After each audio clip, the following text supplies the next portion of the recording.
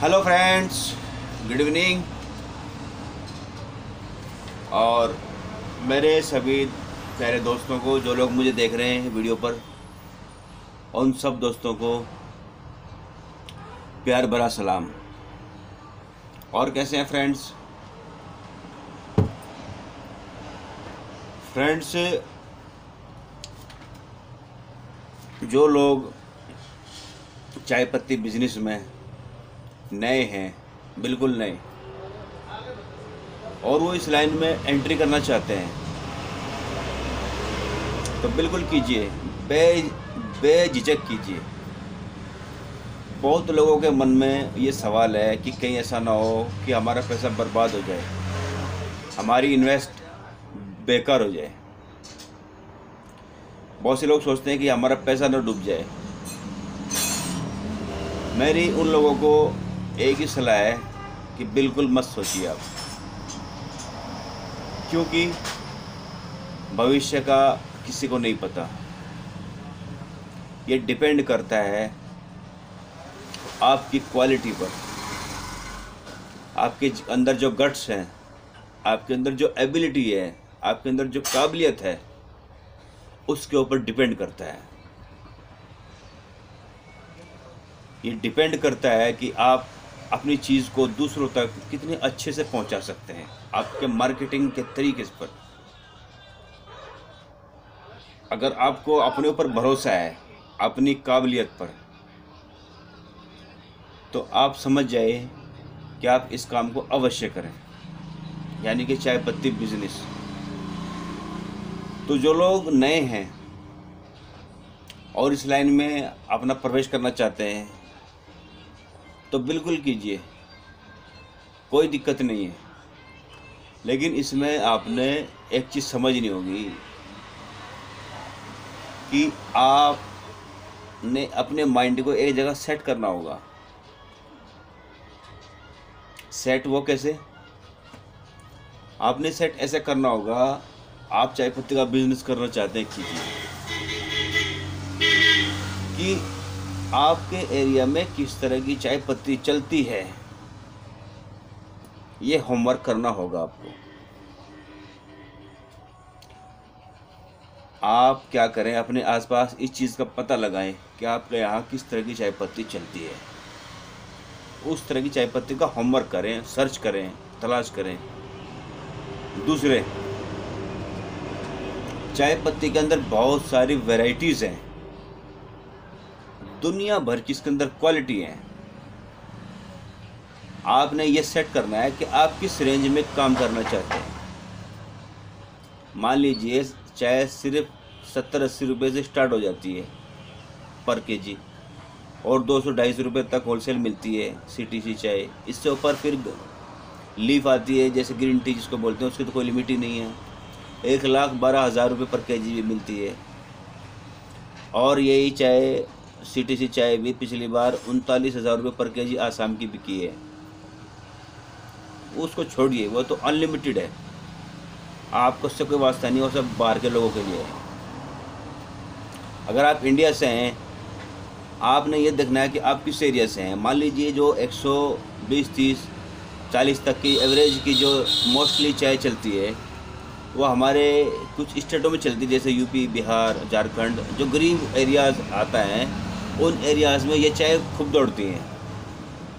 और जो चाय 150 से ऊपर स्टार्ट होती हैं और 250 तक जाती है, इस तरह की चाय जैसे हमारा गुजरात हुआ, हमारा महाराष्ट्र हुआ, पंजाब हुआ, हरियाणा हुआ, या और जो रिच स्टेट हैं, यानी कि जिनकी ठीक ठाक आमदनी है, ये उनमें चलती है।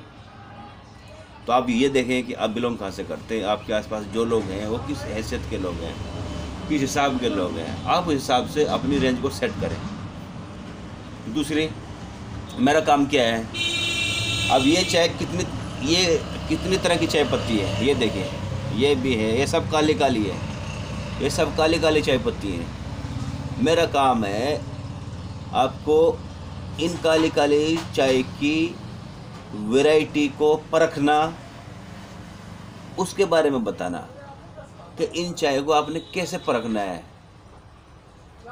कैसे महँगे और सस्ते भाव की चाय को आपने पहचानना है? ये काम मैं बताऊँगा आपको। नंबर एक, अब ये सिंगल चाय हैं, अकेली, जो फैक्ट्री से सभी को मिलती हैं। इनको आपस में कैसे मिलाना है? इसको इसमें कितना कितना इसको इसमें? ये एक टेस्ट जो क्रिएट होता है, एक टेस्ट जो पैदा होता है वो कैसे करना है, वो मैं बताऊँगा आपको। आपने तो अपना होमवर्क करके मुझे कांटेक्ट करना है, मुझे मैसेज करना है। मैसेज कीजिए बजाय कांटेक्ट के। और मेरी जो टर्म्स एंड कंडीशंस हैं, पहले तो मैं कुछ लोगों को फ्री में भी गाइड करने को तैयार था। लेकिन अब ज़्यादा व्यवस्था ज़्यादा कॉल आने की वजह से मुझे फिर इसके लिए स्पेशल काम करना पड़ रहा है। अब ज़ाहिर सी बात है, जब स्पेशल होगा तो फ्री में काम नहीं होगा। इसके लिए मैं एक हज़ार रुपये फ़ीस लेता हूँ। अगर आप एक हज़ार रुपये फ़ीस देने को तैयार है मुझे, आप समझते हैं कि हमें देनी चाहिए कुछ सीखने के लिए या अपना बिज़नेस खड़ा करने के लिए। एक नॉलेज जो मैं दे रहा हूँ आपको, मैं ए टू जेड जानकारी दे रहा हूँ एक हज़ार रुपये के अंदर। तो मेरे अकाउंट में एक हज़ार रुपये आप डिपॉज़िट करा दीजिए। फ़ोन भी बाद में कीजिए, मैसेज भी बाद में कीजिए। बेझिझक नो टेंशन आपका काम होगा। देखिए, जो लोग सिर्फ़ आपको लुभावनी बातें करते हैं, लालच देते हैं, या उल्टी सीधी आपको आइडिया देते हैं, हम उनमें से नहीं हैं। मैं पिछले नौ सालों से ये काम कर रहा हूँ। यानी कि मैं पिछले नौ सालों से चाय पत्ती का बिज़नेस कर रहा हूँ। ये तो मेरे दिमाग में अचानक आइडिया आ गया। यूट्यूब का। मैंने सोचा कि, कि जो आपको मुशक्क़तें आई जो आपके सामने दिक्कतें आई परेशानी आई वो कम से कम उनके सामने ना आए जो लोग इस फ़ील्ड में नए आना चाहते हैं नए लोग इस इस फ़ील्ड में काम करना चाहते हैं। ये मेरे दिमाग में एक आइडिया आया बैठे बिठाए और मैंने इसको यूट्यूब पर लॉन्च किया। नतीजा ये हुआ कि आज ऑल ओवर इंडिया हर स्टेट से हर डिस्ट्रिक्ट से लोग मेरे कांटेक्ट में हैं। और मैं उनको बराबर कोचिंग कर रहा हूँ। उनको गाइड कर रहा हूँ। और वो इतने सेटिस्फाई हैं, इतने खुश हैं, जिसकी उन्होंने कल्पना भी नहीं की थी। तो फ्रेंड्स बेझिझक होकर चाय पत्ती बिज़नेस कीजिए और इसमें लग जाइए। और बेझिझक होकर आप इसमें पूरा इन्वेस्ट आप कीजिए ओके एक मिनट के लिए होल्ड करना। अब मेरे पास यहाँ पे कुछ कस्टमर्स आते हैं बीच बीच में मुझे डिस्टर्ब करते हैं। उनको मालूम नहीं कि मैं आप लोगों के लिए क्या चीज़ तैयार कर रहा हूँ। एक मिनट के लिए ओके एक ब्रेक लेता हूँ। जैसे मीडिया वाले बोलते हैं ना, एक ब्रेक के लिए ओके जी, मैं फिर वापस हूँ। तो फ्रेंड्स बेझिझक होकर आप इसमें काम कीजिए। अगर आपकी जेब में तीस पैंतीस हज़ार रुपये भी हैं, तब भी आप कीजिए। आपकी जेब में एक लाख रुपए उससे ज़्यादा हैं, तब भी कीजिए। आपकी जेब में पाँच हज़ार रुपये हैं, तब भी कीजिए। अगर पाँच हज़ार रुपये हैं तो मैं फ़ीस नहीं लूँगा आपसे। दस हज़ार रुपये तब नहीं लूँगा। अगर आपकी जेब में तीस पैंतीस हज़ार रुपये तब लूँगा आपसे एक हज़ार रुपये तब तो मैं फ्री का ही आइडिया दे दूँगा आपको।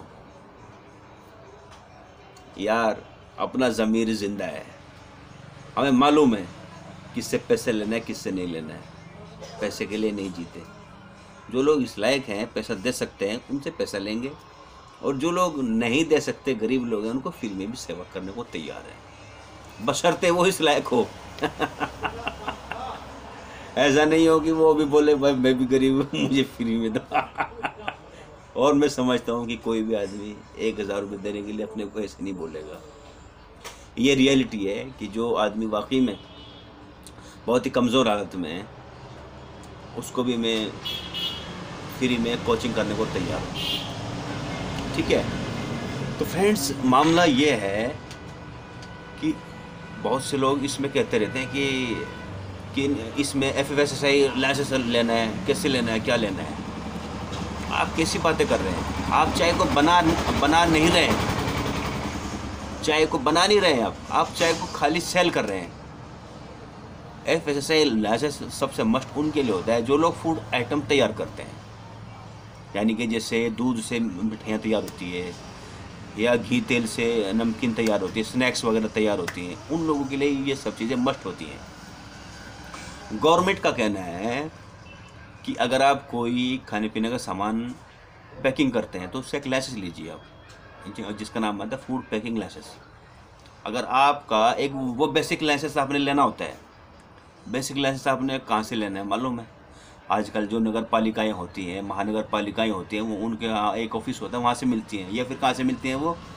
एक सीएमओ ऑफ़िस होता है, हर डिस्ट्रिक्ट पर होता है। सीएमओ समझते हो ना?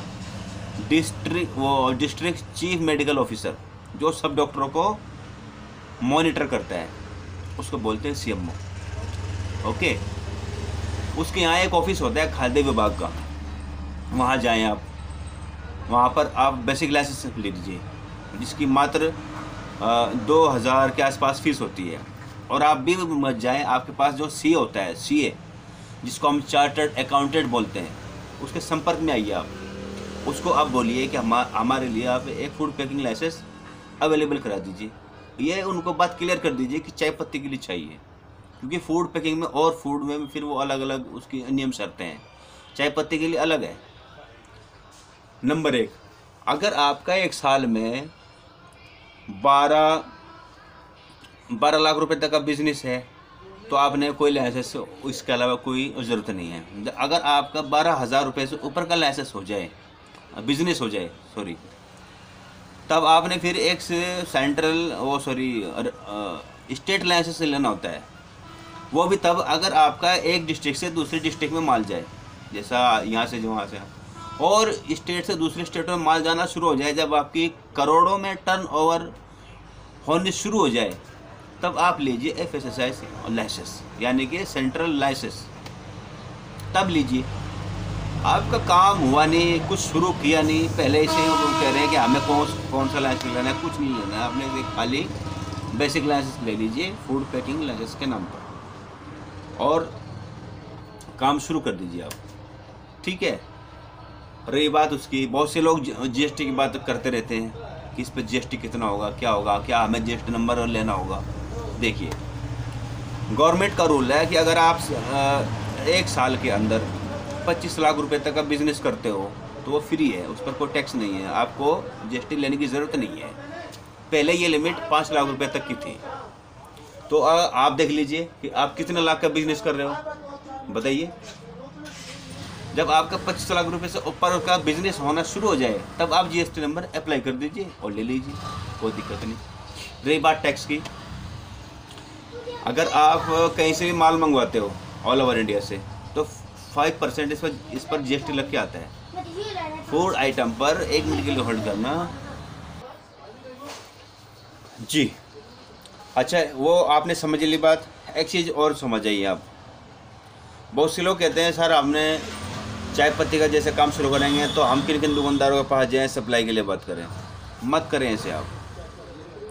अगर आप दुकानदारों के ऊपर पहले से ही काम करोगे तो फेल हो जाओगे। दुकानदार बहुत शाना होता है। जब मार्केट के अंदर पहले से बैठा हुआ है, वो बहुत शाना है। वो आपको खा जाएगा। वो कैसे? आप नए नए हो, वो आपके पास जाएगा, वो आपसे बात ही नहीं करेगा। वो कहेगा नहीं नहीं बहुत माल पड़ा हुआ है, हमें ज़रूरत नहीं है। अगर उसने बात भी कर ली, तब वो आपसे झूठ मूठ क्या बोलेगा? कि नहीं है इस इस रेट में नहीं मिलती, हमारे को तो बहुत कम रेट में मिलती है। तो वो मार्जिन अगर आप उसके खुशामंद मेहनत करोगे तो आपका सारा मार्जिन खा जाएगा, तब वो कहेगा अच्छा माल रख जाओ, पैसे बाद में दूँगा, इसको बेचने के बाद। तो फेल हो जाओगे आप? नहीं नहीं। देखिए, जैसे नेता पब्लिक से होता है, जिस नेता के साथ पब्लिक होती है, वो नेता होता है। ऐसे ही जिस दुकानदार के पास पब्लिक होती है, वो भी नेता होता है। तो आप ये देखिए अपने अंदर झाँक कर अपने गिरेवान में, कि आपके अंदर क्या नेतृत्व करने की क्षमता है। अगर नेतृत्व करने की क्षमता है तो अपना, अपनी दुकान खोलिए, अपना ठिया लीजिए, अपने घर से काम को शुरू कीजिए। लोगों को बताइए, किसी दुकानदार के पास मत जाइए। वही पब्लिक जो उस दुकानदार के पास जाती है, वही आपके पास आएगी। अगर उनको आपकी स्कीम, आपकी चीज़, आपकी क्वालिटी लुभावने लगी, अच्छी लगी तो वो उसके पास क्यों जाएगी? बताइए, वो आप ही के पास आएगी। बशर्ते आपकी चीज़ दमदार होनी चाहिए, अच्छी क्वालिटी होनी चाहिए। एक मौका वो आपको ज़रूर देगा। और आप तो अपने आप को खुशकिस्मत समझिए। आप ऐसे युग में जी रहे हैं, जिस युग में सोशल मीडिया है सोशल मीडिया की ताकत का मतलब समझते हो? देखो, मैं मैं कहाँ पर बैठा हूँ, आपसे बात कर रहा हूँ। ये सोशल मीडिया की ताकत है। मालूम है आपको एक बात का? छोटा सा एडवर्टाइजिंग देने के लिए अखबारों को पाँच पाँच हज़ार रुपये कीमत देनी होती थी। आप के पास अब उससे कई गुनी ताकत है। मान लीजिए आपके फ़ोन में 200 250 व्हाट्सअप नंबर है। आप उनको सेंड कीजिए अपने काम के बारे में। मान लीजिए आप फेसबुक चलाते हैं। फेसबुक को टैग कीजिए। फेसबुक में पाँच हज़ार फ्रेंड्स होते हैं। सबको एसएमएस कीजिए। साहब, मैंने ये फला फला करके बिज़नेस जोड़ा है। और सोशल मीडिया के और बहुत सारे सिस्टम हैं आजकल। उन पर भी अपनी वो शेयर कीजिए। बताइए मैसेज लिखिए कि मैंने ये काम शुरू कर दिया है। तो उससे लोग आएँगे आपके पास। आप एक चीज़ को कैलकुलेट कीजिए। आप एक दिन में अमीर मत बनिए। मान लीजिए आपके पास आज के एक दिन में, जब आपने काम शुरू किया, एक दिन में पाँच कस्टमर आए। ठीक है? रोज़ पाँच आए। तो महीने में कितने हुए? मैं कैल, कैलकुलेट करके बताता हूँ। अरे मेरा तो कैलकुलेटर भी काम नहीं कर रहा है। आप जोड़ लीजिए। मेरा मैथ थोड़ा कमज़ोर है, मैं आपको सही से बताऊँगा, लेकिन मैं आपको आइडिया बता रहा हूँ। मान लीजिए एक दिन में पाँच आए, और महीने में कितने आ गए आपके पास? आपने जोड़ लिया? अब क्या हुआ कि जब ये जो पाँच आने शुरू हुए, और एक पहुँच चलेगी आपसे तो पंद्रह दिन में उन पाँच में से एक कस्टमर रिपीट होना शुरू होगा आपके पास। तो जो महीने भर में आपके पास कस्टमर आए, उनमें से कुछ कुछ कस्टमर रिपीट हो जाएँगे महीने में। नंबर एक, दुकानदारी फिर वहाँ से बढ़ने शुरू होगी। नंबर दो, वो दूसरों को बताएँगे कि वहाँ से चाय लाते हम तो भाई आजकल बहुत अच्छी दुकान खुली है, फिर वहाँ से आएँगे रेफरेंस से। नंबर तीन, आपकी क्वालिटी का अच्छी चाय पियेंगे तो वो उनसे वो खुद ही पूछेंगे कि भाई चाय पत्ती कहाँ से लाते हो? तो पक्का आपका रेफरेंस देंगे कि भाई हम तो चाय पत्ती वहाँ से लाते हैं। तो आप ये समझ लीजिए, करीब चार पाँच महीने में आपके पास तीस से चालीस तक कस्टमर आने शुरू हो जाएँगे। और तीस से चालीस कस्टमर आने का मतलब समझते हो आप? यानी कि आपकी करीब 25-30 किलो चाय बिकनी शुरू हो जाएगी रिटेल में। और एक के जी पर आपके सत्तर अस्सी रुपये कहीं नहीं गए। तो मल्टीप्लाई कर लीजिए आप साठ रुपये से ही कर लीजिए। आप साठ से भी मत कीजिए पचास रुपये से कर लीजिए। कम से कम मार्जिन है ये जबकि सौ रुपये भी है। यानी कि आपकी आपके पास ए, एक दिन में पैंतीस कस्टमर आए और पचास रुपये आपको मिले तो जोड़ लीजिए। हिसाब लगाइए कितने पैसे आपके बन गए। बने नहीं फिर आहिस्ता आहिस्ता रेंज स्टार्ट कीजिए रेंज इसके अंदर। एक रेंज आपने मान लीजिए तीन तरह की रेंज में कम से कम आप काम कीजिए। एक रेंज स्टार्ट कीजिए लो एक रेंज कीजिए मीडियम एक कीजिए हाई यानी कि एक रेंज स्टार्ट कीजिए आप करीब 120 तीस से। पहले तो इलाका देखिए इलाके पे आपके इलाके में वो आपको आपको आ, आपने क्या करना है जब आप काम करेंगे आपको दो तीन महीने के अंदर इस बात का मालूम हो जाएगा कि किस तरह के कस्टमर ज़्यादा हैं किस चाय के किस रेंज के। फिर उस हिसाब से आपने अपना डिसीज़न लेना है कि मुझे इस रेंज में ज़्यादा इन्वेस्ट करना है इसका माल ज़्यादा खरीदना है। ओके वो वहाँ डिसाइड होगा तब होगा बाद में वो वो अभी नहीं हो, हो सकता लेकिन तीन तो तीन में तो कम से कम कीजिए। एक रेंज लीजिए दो सौ बीस दो सौ तीस उसको प्रीमियम चाय बोलते हैं वो लीजिए आप। एक चाय लीजिए आप करीब वन एट्टी वन नाइन्टी के आसपास की। वो चाय बहुत अच्छी होती है। एक चाय लीजिए आप करीब वन फिफ्टी के आसपास की। इन तीन रेंज में काम करना। और सब पे अपना सत्तर, अस्सी रुपये कम से कम मानकर अपना आगे इनको बढ़ाओ। नंबर एक एक हो गया काम। और आपने क्या करना है इसके अंदर? एक आपने करना है ग्रीन टी। ग्रीन टी में भी अच्छा मार्जिन है। ग्रीन टी और बढ़ा दो। और ग्रीन टी में आपने क्या करना है? दो तीन वेराइटी रखनी है। ग्रीन टी लूज लेकर आओ, आपको बहुत सस्ती मिलेगी और उनको पैक करो। वो वो बहुत महँगी बिकेगी। हाफ़ फिफ्टी परसेंट मार्जिन है इसमें। फिफ्टी अभी। फिफ्टी परसेंट मार्जिन मिलेगा ग्रीन टी के अंदर आपको। लूज लेकर आए, अच्छी वाली। मैं आपको बता दूँगा, आपने किस, उसका, इनके कुछ कोड नंबर होते हैं। ग्रीन टी के कुछ कोड नंबर होते हैं, वो मैं आपको बता दूँगा कि किस कोड की आपने, लानी है। पूरा आधा मार्जिन है फिफ्टी परसेंट का। कम नहीं है, बहुत है। उसमें भी आपके लिए कमाई होगी। वो तो आपका इधर तीन रेंज इधर होगी, तीन ही रेंज आपके ग्रीन टी में होगी। छः रेंज हो गई। फिर इनको भी आप सेल करें। ग्रीन टी इतनी से बेचेंगे आप। पचास ग्राम बेचेंगे, सौ रुपये की बेचेंगे। पचास रुपये मिल जाएँगे आपको, पक्का। ग्रीन टी में बहुत मार्जिन है। तो कहने का मतलब है, दोस्तों, काम शुरू कीजिए, कोई दिक्कत नहीं। अपना ठिया बनाइए। हाँ अपने काम को अच्छे से अट्रैक्ट कीजिए। अट्रैक्शन उसकी लाइए अच्छे से बोर्ड बनवाइए। आजकल साइन बोर्ड बन जाते हैं बहुत अच्छे से। और बहुत अच्छे से फ्लैक्स बोर्ड बन जाते हैं। उनको आप बनवाइए अच्छे से। डिस्प्ले अच्छा कीजिए। कहने का मतलब है अपने काम का, अपने उसका एडवर्टाइजिंग का डिस्प्ले अच्छे से बनवाइए। अच्छे से कीजिए। वो लोगों को ऑटोमेटिक आपकी तरफ़ घसीट के लाएगा। कोई भी आदमी एक बार तो आपको मौका ज़रूर देगा।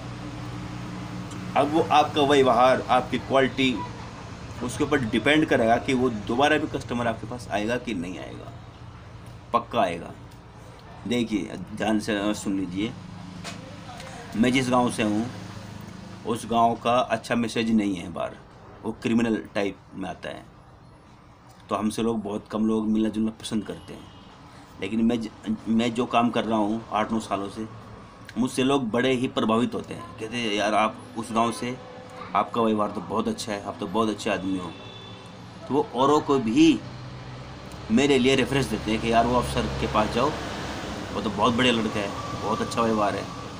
तो मेरा आज तक इस दुकान पर किसी से कोई झगड़ा नहीं हुआ, नौ सालों के अंदर। मैंने अपना, मैं अपने आप को इतना बैलेंसिंग में बना के रखता हूँ। कस्टमर आता है, उससे यस और नो की बात करता हूँ। किसी ने अगर हमारे माल में कंप्लेन भी की तो उससे उसको हम बोलते हैं, कोई बात नहीं, कोई बात नहीं, वापस कर दो, और दूसरी ले लो। उसको हमने कुछ और वर्ड कहा ही नहीं। हमने कहा, अगर कोई वापस माल लेके आया, शुरू शुरू की बात अब तो कोई आता नहीं, कि भाई इसमें कंप्लेन है, कोई बात नहीं जी दूसरी ले लो, अच्छी ले लो। और हम सबको बोलते हैं कि आप बदल लिया करो, अगर कोई दिक्कत है तो हमसे चेंज कर लिया करो। हमने हमें हमें कोई दिक्कत नहीं, उस माल को दूसरे को दे देते हैं हम। तो नतीजा ये है कि कस्टमर हमसे बहुत खुश है। तो दुकानदारी का ये उसूल होना चाहिए कि कस्टमर को नाराज़ मत करो झगड़ो मत उससे, बहस मत करो यस मैन बन जाओ। ओके एक मिनट के लिए बस और होल्ड करना, बीच में और आ गया तो फ्रेंड्स मैं कहना चाहता हूँ, अपनी क्वालिटी से और अपने व्यवहार से अपने काम को खड़ा कीजिए। और ये इसको सींचना होगा। देखिए, आप एक बात समझिए। एक बात समझें आप। एक आदमी जब मजदूरी करता है, वो सुबह से लेकर शाम तक तसला उठाता है अपने सर पर। बीच बीच में कस्टमर आ जाते हैं तो मैं आपसे क्या बात कर रहा हूँ, वो भी भूल जाता हूँ। तो क्या बताने वाला था, मैं दिमाग से निकल गया। ओके, अब गए, अब अंधेरा हो चुका है। मैं मैं वीडियो इसीलिए रात को मैं इसलिए बना रहा हूँ कि अब शोर भी मतलब कम हो जाएगा।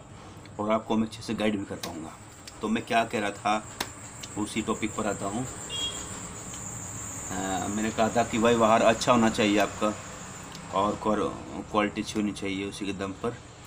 याद नहीं आ रहा, मैं भूल गया हूँ। मैं एकदम बिल्कुल सुरूर में आ गया था। बहुत अच्छी बातें बताने वाला था आपको। लेकिन भूल गया हूँ। हाँ हाँ हाँ हाँ हाँ। क्या थी क्या थी क्या थी? ओ माय गॉड क्या थी? हाँ हाँ हाँ हाँ। क्योंकि आज मैं इस वीडियो में सब कुछ बताने वाला हूँ आपको। लंबी वीडियो हो गई है, कोई बात नहीं। इसमें ये है। खैर, भूल गया हूँ उसको मैं। सॉरी अगली वीडियो में बताऊँगा उसको मैं। हाँ हाँ हाँ। चलिए खैर। Okay okay okay.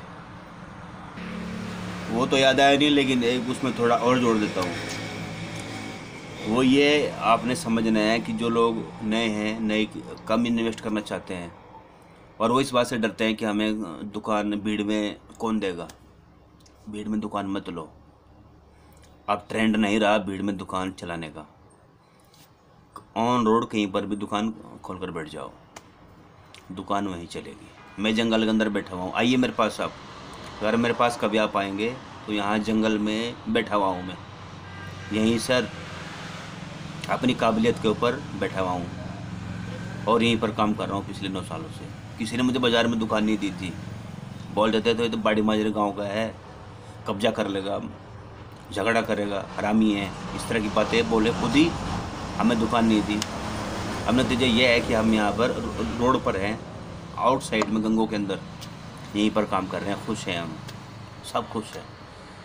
तो कहने की बात यह है, अपना व्यवहार अच्छा रखें। ठीक है? और अपनी क्वालिटी अच्छी रखें। इसी से काम आपका हो जाएगा। और दुकान भी आपको सस्ती मिलेगी। अंदर लेकर बैठेंगे ना तो बहुत कुछ वहाँ महँगा मिलेगा। आपसे पगड़ी मांगेंगे, किराया ज़्यादा मांगेंगे तो आपका काम नहीं बनेगा। ओके तो फ्रेंड्स आज के लिए इतना ही। अगली जानकारी, अगली वीडियो में पक्का मैं शेयर करूँगा। और फ्रेंड्स मुझे खुशी होगी कि मेरी थोड़ी सी नॉलेज आप अपना काम स्टार्ट करेंगे।